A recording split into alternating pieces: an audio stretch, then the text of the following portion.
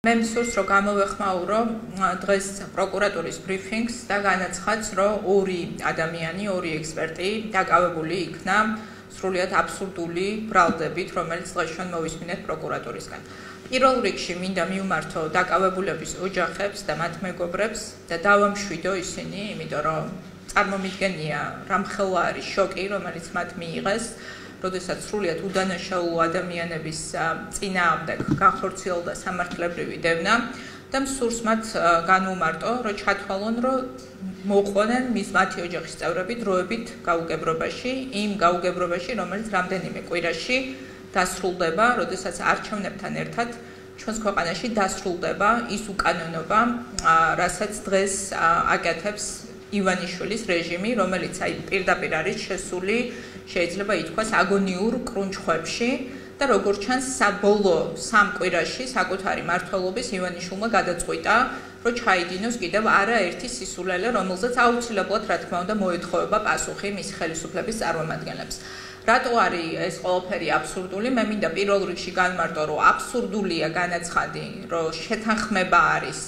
მიღწეული რაიმე ტერიტორიების გადაცემაზე მაშინ როდესაც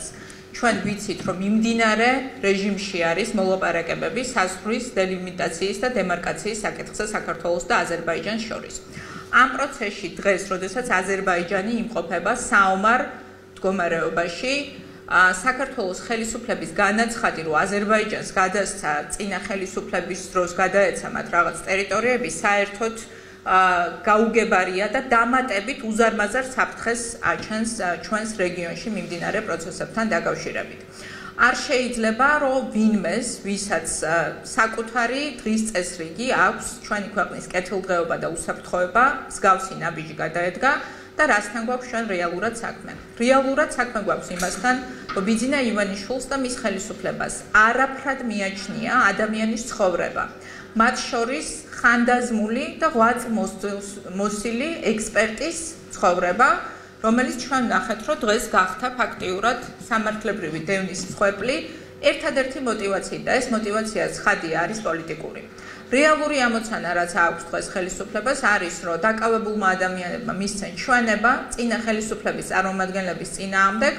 და წინა საარჩევნოთ კიდევ ერთხელ, აი სიკვდილის გარდაცვალების ფაზაში მყოფმა პოლიტიკურმა რეჟიმმა ბიძინა ივანიშვილის შეეცადოს, რომ საზოგადოება კიდევ ერთხელ მოატყუოს რაღაცა მოგონილი ზღაპრებით წინა ხელისუფლების მიერ ჩადენილი სავარაუდო დანაშაულის შესახებ. ეს არის ერთადერთი мотиваცია, ამიტომ დღეს დაკავებული ექსპერტები ჩემი აზრით და დარწმუნებული ვარ, რომ ჩვენი საერთაშორისო პარტნიორები ამას გაითვალისწინებენ და დაგვეთანხმებიან ამ აზრში. ეს ხალხი არის პოლიტიკური ნიშნით განხორციელებული მართლმსაჯულების მსხვერპლი და რა თქმა უნდა ჩვენ დავიწყებთ დღეიდანვე ძალიან აქტიურ მუშაობას მათი გათავისუფლების მისაღწევად თუმცა რა თქმა უნდა რამდენიმე კვირაში ეს ხელისუფლება უკანონობა და უსამართლობა ჩვენს ქვეყანაში დასრულდება და ეს ორი უდანაშაულო ადამიანი რომელიც დღეს კიდევ ერთხელ ვამბობ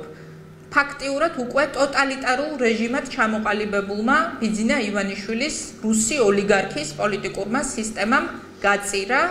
ეს ორი ადამიანიც რა თქმა უნდა გათავისუფლდება და აუცილებლად იპოვნის სიმართლესაც, საკუთარ რეპუტაციასაც აღიდგენს და შესაბამისად ჩვენი საზოგადოებაც სრულ სიმართლეს გაიგებს ამ მიმდინარე საქმესთან დაკავშირებით.